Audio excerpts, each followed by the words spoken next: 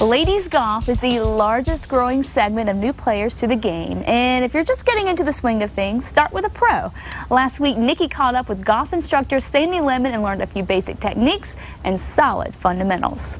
I've worked with a lot of women. I, I, teach golf for the LPGA golf clinics for women around the country, and women are getting more women are getting into golf for business reasons. Mm. Uh, there's uh, there's a, a, a, business part of it that they can take clients out.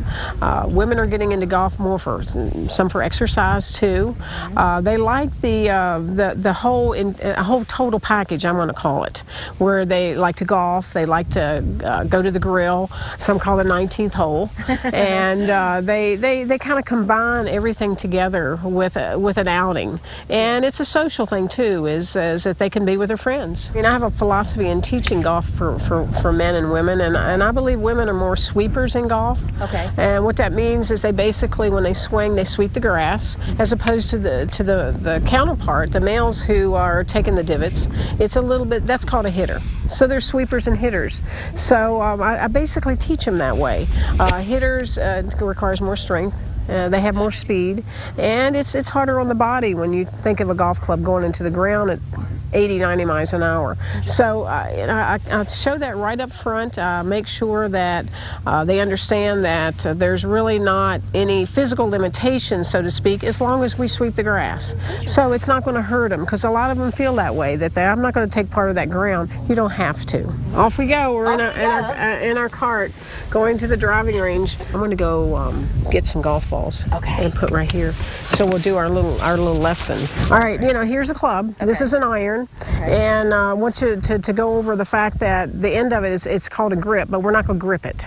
We're going to hold it. I call it a handle. Okay. We hold the handle. What I want you to do, I'm going to teach you and, and let you feel how okay. hard I hold a golf club. Okay. All I'm going to have you do is to hold your right arm out like this, mm -hmm. and I'm going to hold it as tight as I hold a golf club. That's it? So you feel that. Okay. On a scale of 10, this is a 4. Yeah, I was going to say. So 4 out of 10, we don't grip the club we hold it. You're going to put your right, uh, left hand on first. And when we place the left hand on, I'm just going to mention a part of your left hand called your heel pad. Mm -hmm. And all we're going to do is place it right on top of the grip. Okay. And this thumb's right on top. It's just 12 o'clock, right on top of it. Okay. And to tell if you had it right, you could let go of the last three fingers and keep that heel pad up there and hold on with this one. Oh. And you should be able to hold it. Now, if you held it like this, which a lot of people tend to, uh-huh. and you try to let go those th- three fingers, you can't hold it. No. so that means the club would be moving in your hand and you would have to grip it. Got so it. I'll just get the left hand on, and then I'm just going to let you place your right hand on underneath your left. And you always want to touch them as long okay. as they touch. Okay. And that's what we would refer to as a baseball or 10 finger grip, which is very common. And I tend to like to start ladies that way because it's the strongest. So that's how we do put our hands on. And now we're going to put you in a position to make a swing. Okay. We call it setup or the fundamentals of setup. Mm -hmm. And I believe that 85% of the shot happens in the setup. When we swing a golf club, we swing on a clock. Okay. You're facing me, I'm the clock, this is 12. Mm -hmm. This is 6 mm-hmm. this is nine, and this is three. Right. We always start at six. My hands go to nine, they go to three. That's a half swing. That's it. That's a half swing. Oh, okay. Okay, and that's how we're going to start. That's and after we do some nine to threes, then we're going to go and take our hands up to 10, which is shoulder. 10 to 2. There's your full swing. That's it. Oh, now, when okay. we swing, this is the only thought I want you to think about. Okay. Sweep the grass sweep the grass. Like sweep said, the grass. Girls are sweepers.